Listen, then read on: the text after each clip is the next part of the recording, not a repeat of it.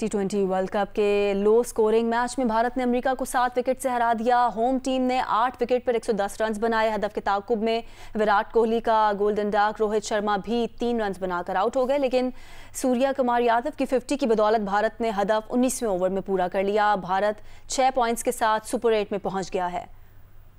New York में America की innings का आगाज़ तबाह कन रहा। पहले ही ओवर में दो खिलाड़ी आउट इस मुश्किल में स्टीवन टेलर ने 24 रन की अच्छी इनिंग्स खेली। नीतीश कुमार ने भी 27 रन बनाए। कोरे एंडरसन 15 रन के साथ नुमाया रहे। वक्फे वक्फे से विकेटें भी गिरती रहीं और रन भी बढ़ते रहे।